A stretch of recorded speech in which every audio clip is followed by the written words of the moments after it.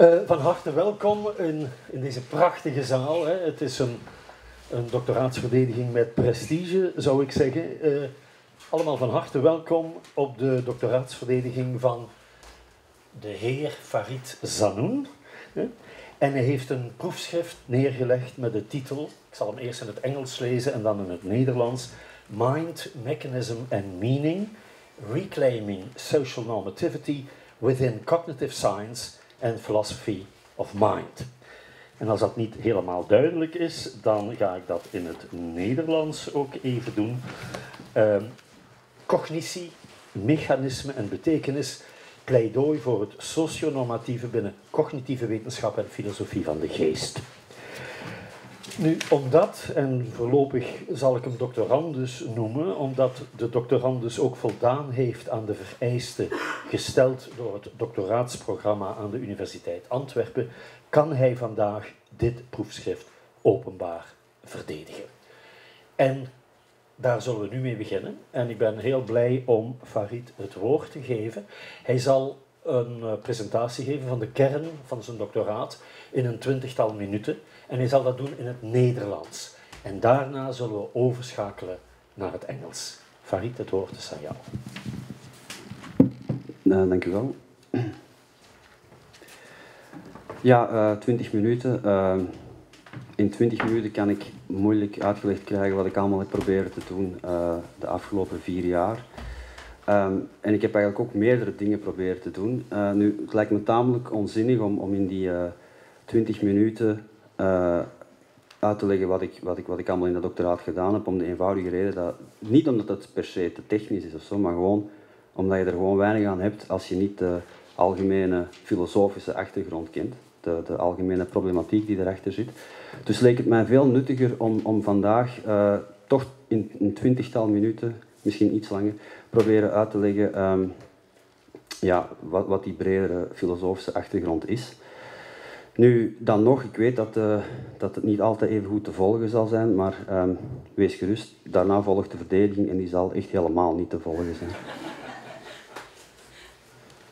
Dus uh, eigenlijk is de bedoeling dat jullie op het einde van de presentatie op, op, op, op zijn minst een idee hebben van, van wat die titel dan uh, te betekenen heeft. Hè?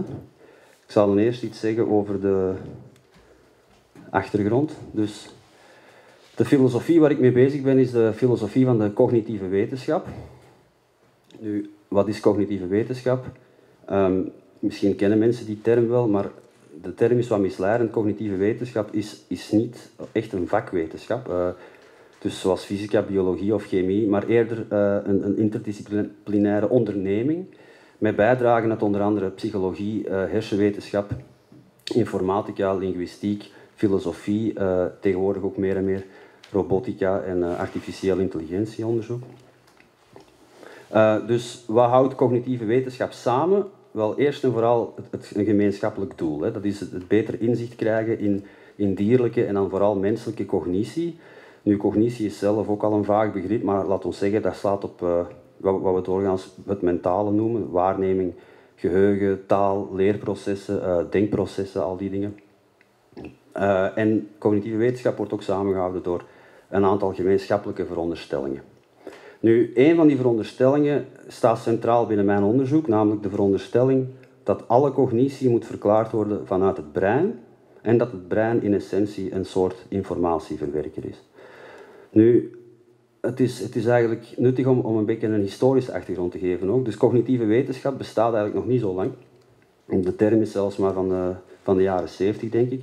Maar de, de, de, de eerste ontwikkelingen die, die zijn ontstaan in de jaren 50. En dan vooral twee ontwikkelingen zijn er van belang. Ten eerste uh, onvrede met het uh, behaviorisme. Dus in de jaren 50 en de decennia daarvoor was het, behaviorisme de, de, de, ja, de psychologie die, die de, de, de studie van het, van, van het mentale of, zo wil, of, of die de psychologie wil reduceren tot studie van het gedrag, vandaar behavior. Uh, ja, men, had daar, men was daar toch niet helemaal mee gediend. En ten tweede, tegelijkertijd zat je dan met de ontwikkeling van de computer. Nu, die ontwikkelingen die komen dus op een bepaalde manier samen. Uh, en het idee, het centrale idee wordt dat het brein een soort ja, biologische, digitale computer is die uh, computationele operaties uitvoert op interne symbolen of representaties. Ik zal dat dadelijk verduidelijken. Um, maar het, het, het idee van, van, het brein als informatieverwerker komt ook niet zomaar uit de lucht vallen. Eigenlijk wordt dat gekoppeld aan een, aan een veel ouder idee. Um, in het algemeen het filosofisch representationalisme. En dat is het, het, idee dat de functie van de hersenen uh, eerst en vooral is om de buitenwereld te representeren. Dus natuurlijk, um, mensen hebben altijd geweten dat ons lichaam vol zit met, met, organen. En die organen hebben allemaal een functie. En, en, van de meeste van die organen weten we al vrij lang wat die functie is.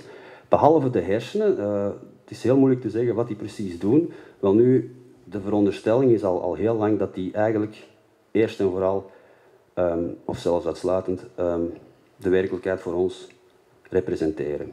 Dus dat woord representatie is cruciaal. Nu, dat idee dat het brein de werkelijkheid representeert en dat het lichaam eigenlijk niet van belang is, uh, is, is tamelijk populair. Dat wil zeggen, um, ja, bijvoorbeeld de, de, de brain in een vat hypothese. Ik weet niet of dat die hypothese per se zo populair is, maar al, al anderzijds is bijvoorbeeld heel de film van de Matrix op dat idee gebaseerd. Dus in principe zou het best kunnen dat wij gewoon hersenen zijn op sterk water die gekoppeld zijn aan een, aan een machine die uh, stimuli geeft, waardoor dat wij uh, als output bijvoorbeeld een werkelijkheid zien, maar eigenlijk is die er niet. Um, dus in feite doet het brein alles. Bijvoorbeeld, ja, voor mensen die uh, te lui zijn om echt te gaan joggen, het zou handig zijn. Maar... Dus uh, de vraag is dan natuurlijk, ja, het brein representeert, maar hoe doet het brein dit? En dan uh, komen we op, op, op de centrale notie, namelijk de notie van interne representaties. Dus het idee is dat het brein op een of andere manier interne ja, kopieën of representaties van de buitenwereld construeert en daar dan die uh, computerachtige operaties op, op, op, op uitvoert. Hè. Nu, die notie van interne representatie, die, die, die dus uh, al van bij het begin van de cognitieve wetenschap centraal staat, die is nog altijd waarschijnlijk de meest belangrijke verklarende notie binnen uh, cognitieve wetenschap. Nu, wat zijn interne representaties precies? En dat is eigenlijk eigenaardig, maar na 60 jaar uh, is de situatie nog altijd zo dat iedereen het erover, ja, veel mensen het erover eens zijn dat we interne representaties moeten veronderstellen om cognitie te verklaren. En anderzijds dat niemand precies weet wat representaties zijn of hoe ze gerealiseerd worden in het brein. Um, dus dat, is tamelijk paradoxaal. Maar er, is wel een minimale uh, overeenstemming over wat die representaties al sinds op zijn minst moeten doen. Dus representaties zijn ja, dingen die op een of andere manier zeggen hoe dingen in de werkelijkheid, werkelijkheid zijn en in die zin dus die dingen representeren. Dat wil dus ook zeggen dat ze inhoud hebben, maar dan inhoud op de manier zoals een zin of, of een, ja, een normale representatie, hè, zoals we die dagdagelijks kennen, ik ga daar straks voorbeelden van geven, hoe die dingen inhoud kunnen hebben. Dus die gaan over iets. Laten we zeggen dat ze semantische inhoud hebben op de manier zoals een, eh, een zin semantische inhoud heeft. En bovendien worden die ook gedacht, dus die interne representaties worden door de wetenschapper ook gedacht naar het model van die normale representaties, zoals zinnen, uh, maar ook afbeeldingen, uh, modellen, geografische kaarten. Kortom, al die dingen waar we aan denken als we aan representatie denken. En mijn stelling is dat het idee van interne representatie onhoudbaar is. dat is het centraal onderwerp van mijn doctoraat. En um, ik, ik, ik, wil, dat, ik wil dat, dat argument geven, niet op basis van wat ik allemaal in mijn doctoraat heb staan, want dat is, dat tamelijk uitvoerig, maar ik, ik, ik uh, besefte plots dat ik dat tamelijk snel kan uitleggen aan de hand van een, een, een, heel interessant onderscheid dat de Amerikaanse filosoof Wilfrid Sellers in de jaren 60 maakt. Namelijk tussen de manifest en de scientific image, staat in de titel. Um, in, een, in, een, in een heel beroemd artikel van Sellers, hij begint trouwens het artikel ook met, met, een, met een interessante definitie van filosofie, dus voor wie daarin geïnteresseerd is. Um, the aim of philosophy, abstractly formulated, is to understand how things in the broadest possible sense of the term hang together in the broadest possible sense of the term. Um, ik heb het ook vertaald. Dat is een, uh, een, een, vaak geciteerde definitie. Nu, wat, wat, zegt Sellers hier? Wel, hij zegt, de filosoof wordt eigenlijk geconfronteerd met een, met een heel eigenaardig probleem, want er is eigenlijk niet één, maar twee manieren om naar de werkelijkheid te kijken. En in zekere zin zijn beide manieren correct. Uh, en hij noemt die twee manieren uh, het manifeste wereldbeeld en het wetenschappelijke wereldbeeld in het uh, Engels uiteraard. Dus ik ga iets zeggen over de manifest image en dan ga ik daarna iets zeggen over de scientific image. Um, de manifest image is eigenlijk het, het, waarschijnlijk voor de meeste mensen het meest evidente. Dat, is eigenlijk, dat verwijst naar de dagdagelijkse werkelijkheid waarin dingen en gebeurtenissen uh, niet zozeer verschijnen als wat ze zijn in en op zichzelf, maar uh, eerst en vooral als wat ze zijn voor ons, voor de mens. Of, dus dat wil zeggen in verhouding tot wie we zijn en wat we doen. Um, dus eigenlijk hebben de dingen vanuit die verhouding altijd al betekenis. Het is trouwens heel, heel sterk verwant aan wat Heidegger uh, wereld noemt. Dus als voorbeeld, ja, eigenlijk ongeveer alles wat je rondom, rondom, rondom u ziet, uh, dat is dus de stoel waar je op zit, uh, ja, de boeken in de bibliotheek, bibliotheken zelf, uh, bijvoorbeeld papier, geld ook. Ik, ik wou het eigenlijk als voorbeeld uit mijn portefeuille halen, maar alles zit helaas in de receptie van straks. Maar ook um, menselijk gedrag is zelf ook zoiets. Um, dus een stoel is maar een stoel, omdat het is maar iets voor ons, uiteraard. Het is, op zichzelf zijn er geen stoelen, op zichzelf zijn er zeker geen boeken, laat staan bibliotheken. Dat is maar omdat wij binnen bepaalde praktijken uh, die objecten gebruiken en daardoor krijgen die hun identiteit. En, en, en, en wij zien die ook eerst en vooral als dusdanig. Uh, nu, manifest, in de zin van manifest image, uh, kun je ook gewoon begrijpen als hoe die dingen zich effectief dus manifesteren of, of hoe, die, ja, hoe, we die waarnemen eigenlijk in de tamelijk letterlijke zin. En dus ook menselijk gedrag. Ja? Dat, is, dat is natuurlijk het cruciaal, want het gaat hier over psychologie. Maar dus Sellers zegt vanuit een manifest image, uh, vanuit onze dagdagelijkse realiteit, zien wij eerst en vooral mensen dingen doen vanuit redenen. Die doen, die doen dingen met, met, met, een, met een bedoeling, maar, dat, maar daar zit betekenis achter niet vanuit oorzaken. Dus als we willen weten waarom iemand iets doet, dan gaan we niet geïnteresseerd zijn in de causale mechanismes of in, of in, of in hoe die hersenen dat lichaam doen bewegen. Normaal gezien uh, proberen we dan gewoon een antwoord te geven in termen van ah, die, die persoon wil dit of dat gaan doen. En dat is een reden. En een reden is betekenisvol. Nu, dat staat in scherp contrast met het uh, scientific image. Um, vanuit de scientific image wordt de werkelijkheid eigenlijk benaderd zoals die objectief is, maar in feite net niet zoals die voor ons is. Dus we willen eigenlijk weten, ja, maar wat zijn die dingen eigenlijk los van onze, onze, onze uh, interesses of onze dagdagelijkse manieren van omgang met die dingen. Um, en, en, en de scientific image is dus eerst en vooral geïnteresseerd in causale samenhangen, niet in, in die betekenissamenhangen. Um, dus vandaar dat Sellers ook, het ook heeft over hoe de dingen samenhangen. Dus eigenlijk zijn dat twee, ja, je zou kunnen zeggen, totaal samenhangen, maar twee totaal verschillende manieren van hoe de dingen samenhangen. Um, dus ik zou, het is eigenlijk tamelijk inzichtelijk te maken aan de hand van een aantal voorbeelden. Bijvoorbeeld ja, goud. Ik had daar straks al papiergeld gezegd, maar denk aan goud. Nu, voor ons een kilo goud, dat is iets, eerst en vooral met, met, met de waarde van, ik heb het opgezocht, 36.000 eh, euro. Maar vanuit het wetenschappelijk perspectief ja, is dat ook maar gewoon uh, materie en, en, en, en materie met, waar, we de fysische en de chemische eigenschappen vrij goed van kennen. Dat is hier een, dus een aantal. Hè, de, ja, dichtheid, hart, ik weet ook niet wat dat allemaal betekent natuurlijk. Uh, een ander voorbeeld, misschien gemakkelijker, is um, geluid tegenover muziek. Dus vanuit de scientific image, ja, stel iemand vraagt, ja, wat, wat hoor ik daar? Ja, dan kan iemand zeggen, dat is een, dat is een pianosonate van Mozart, of, of op zijn minst dat is muziek. Maar de persoon kan ook bedoelen, ja, maar wat is dat eigenlijk echt wat je hoort? Ja, dat is, dat geluid. En geluid eh, is eigenlijk niks anders dan wat we horen wanneer, als de luchtdruk verandert. Ik bedoel, hier is de definitie van Wikipedia. Dat is ook allemaal uh, niet mijn idee. Maar, um, en dan een derde voorbeeld is het voorbeeld van de geografische kaart. Dat is eigenlijk een, een, een heel nuttig voorbeeld, want een, een geografische kaart is eigenlijk al een voorbeeld van een, van een uh, publieke representatie. Dus een kaart heeft fysische eigenschappen en heeft inderdaad structurele gelijkenissen met, met, het, uh, met, het, met, een, met een gebied. Maar cruciaal, die, die, die structurele gelijkenissen verklaren niet hoe het kan dat die kaart representeert. Dat, die, dat uh, op, op, op, op dit voorbeeld bijvoorbeeld, dat dat, dat, dat, dat effectief voor Sydney Opera House staat, die, die roze lijn ernaast voor de, de Harbour Bridge. Ja, ik heb speciaal voor, voor Hutto een, uh, een voorbeeld van. Ik wou eerst Wollongong pakken, maar dat zou toch niemand kennen. Dus. Um, sorry. Dus eigenlijk het centrale probleem is, en, en dat is dus de vraag die de, die de, die de cognitieve wetenschapper moet beantwoorden, van wat maakt, wat maakt iets dan wel een representatie? Dus als het, als het niet bijvoorbeeld structurele gelijkenissen zijn of al die dingen, wat is het dan wel dat ervoor zorgt dat een object over iets anders kan gaan? Uh, of, of dat het object naar iets kan verwijzen? Nu, mijn of ja, mijn inzicht, bedoel, dat is nu ook niet zo spectaculair, maar het punt is dat dat representationele aspect van representaties eigenlijk gewoonweg niet uit het wetenschappelijk wereldbeeld kan begrepen worden.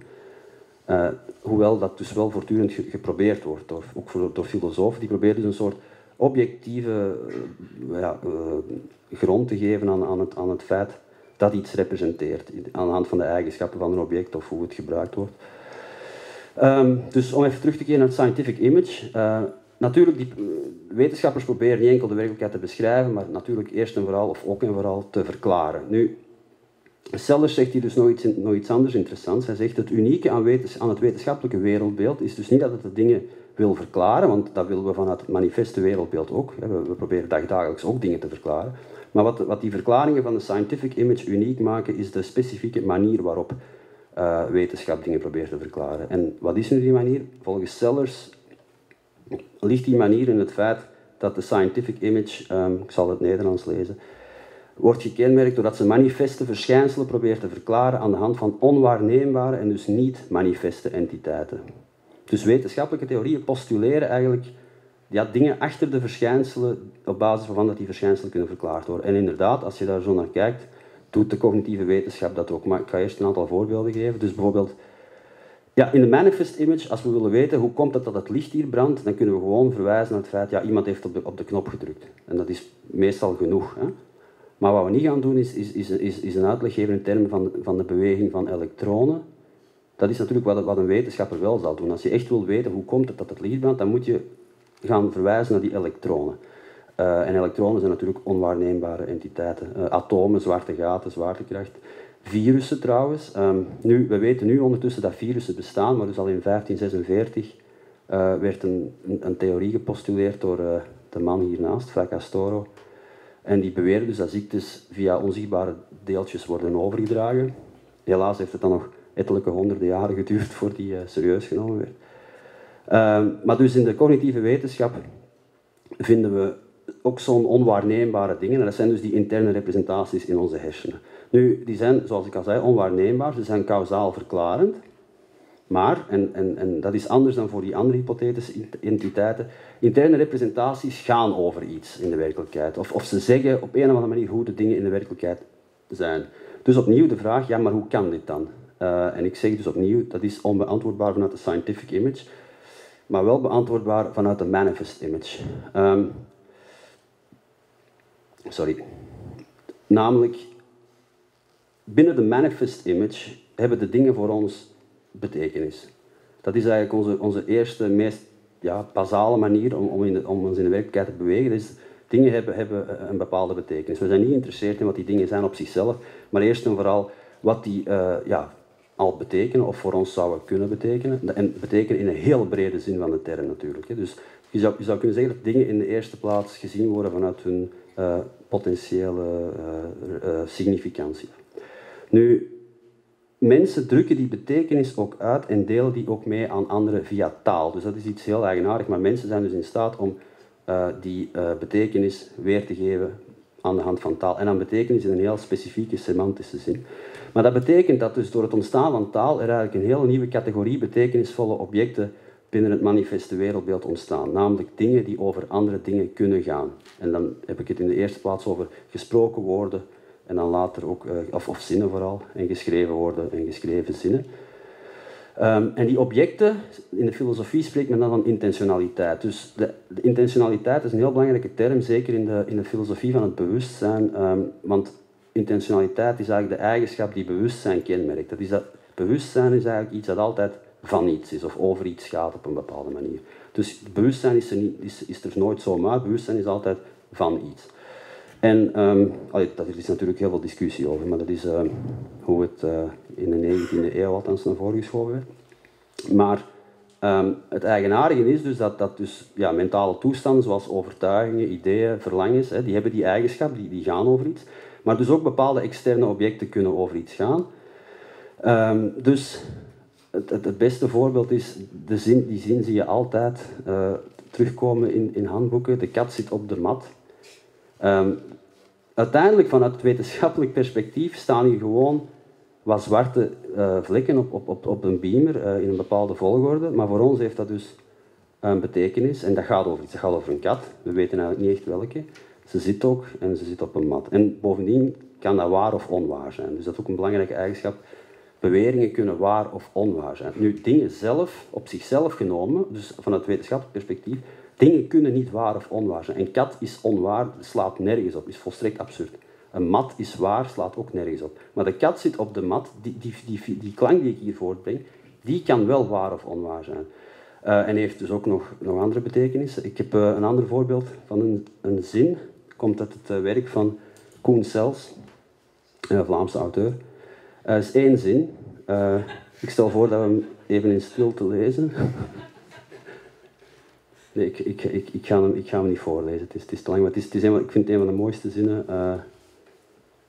die ik ooit in een boek gelezen heb. Hij beschrijft hier de, de, de ervaring als, als, als kleuter of als, als jong kind op, op, een, op, een, op een, ik geloof tijdens een kerstfeest bij zijn uh, grootouders thuis, ergens in, in een gehucht in de Kempen.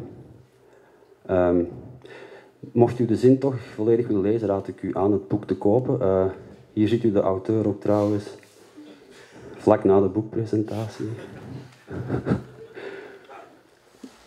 In ieder geval, zinnen gaan over iets. Maar dus niet alleen zinnen, maar ook uh, andere objecten. Bijvoorbeeld, uh, zoals je daar ziet, dat, dat, dat, dat onnozel weer-icoontje.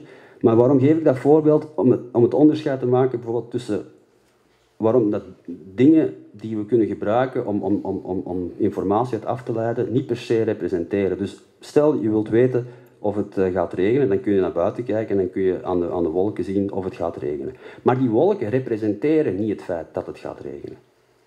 Die staan nergens voor, die zijn er gewoon en jij kunt dat zien als een, misschien als een teken dat het gaat regenen, maar op zich zijn dat geen representaties.